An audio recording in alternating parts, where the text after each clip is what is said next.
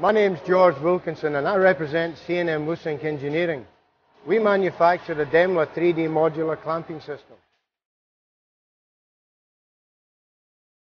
The table's been manufactured from a grade 350 structural steel. It's 25 millimeters thick. It's been fully fabricated and machined all over. It has a grid on it that's 100 by 100. It also has the holes and a grid pattern as well. These are manufactured by drilling a hole and then accurately boring the hole. When we do that, it gives a very precise measurement and location. Now we'll show you some of the benefits of this system.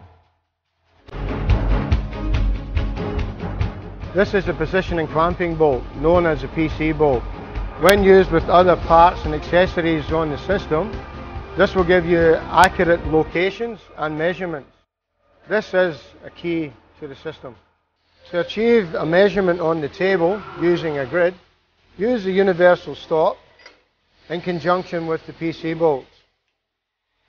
Locate two bolts and tighten. It'll locate right on the line.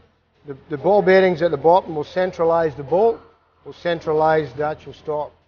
So here you've got from there to there is 100, 200, 300, 400, 500 millimeters.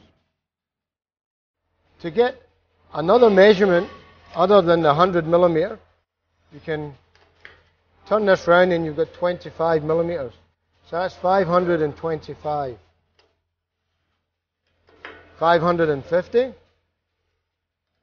575.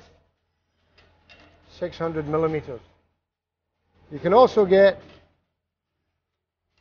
90 degrees or 45 degrees just using the universal stop and two PC bolts.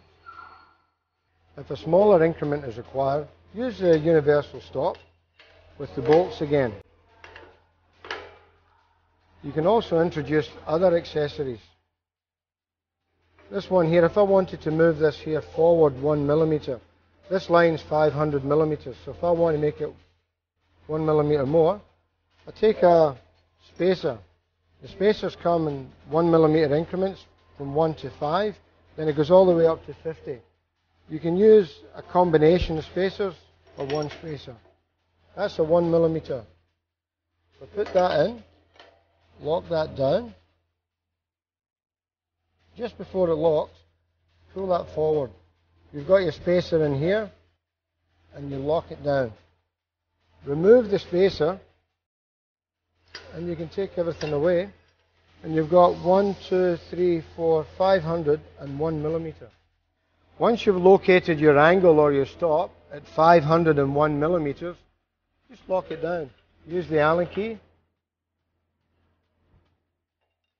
Then you can take another stop, and this is a good benefit of this system you can create from an edge a datum.